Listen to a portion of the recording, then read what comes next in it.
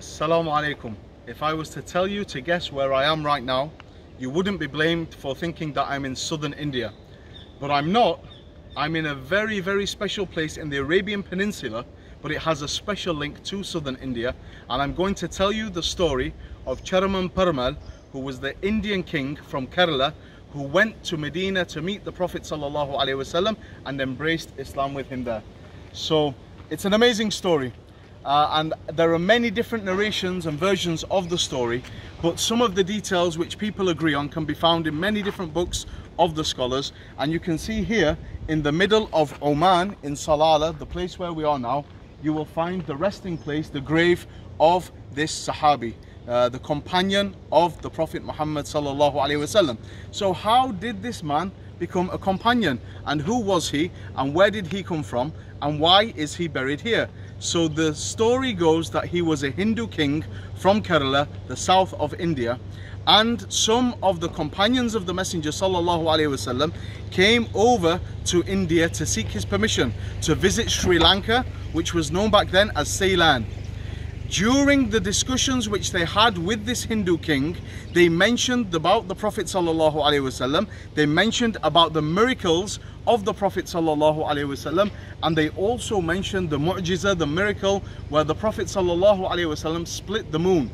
And this king himself, who was known locally as Cheraman Perumal, witnessed the splitting of the moon of the Prophet ﷺ from his palace in southern India and he asked more and more who is this Prophet ﷺ who is this man? How can I find out more about him?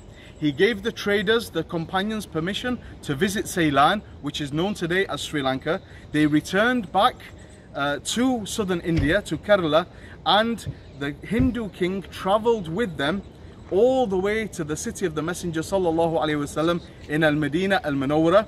He met the Prophet wasallam. He embraced Islam at the hands of the Prophet wasallam.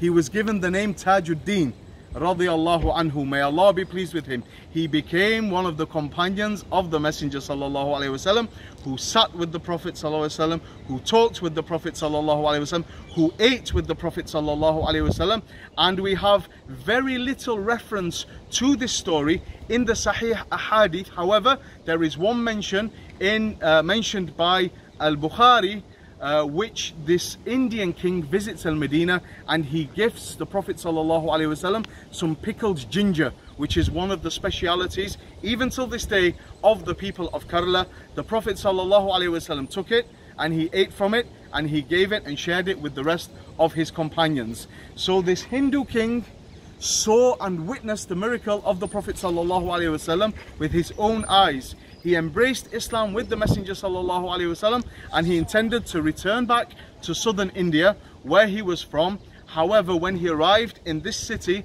in Salalah amongst these palm groves, he, he passed away and he's been buried here ever since. However, the delegation which he was returning to Kerala with included the great companion of the Messenger sallallahu alaihi wasallam, Sayyidina Malik ibn Dinar radiallahu anhu, and he carried on the journey, continued onto Kerala and he is buried there and the place where he uh, has been laid to rest is known and is visited until this day. So that brothers and sisters is the amazing story of the Indian king who was a companion of the Prophet wasallam, who converted from Hinduism to Islam, accepted the Risala al-Nabawiyya al-Sharifa, this prophetic noble message of the Prophet wasallam, and this is an example of one of the people about who Allah says about them in the Quran, radiyallahu anhum wa radu an.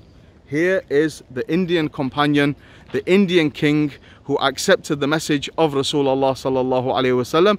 And what's amazing is this whole area is as if you were in Kerala. Even before I knew about this place, I said to my family, this place reminds me of Kerala in southern India.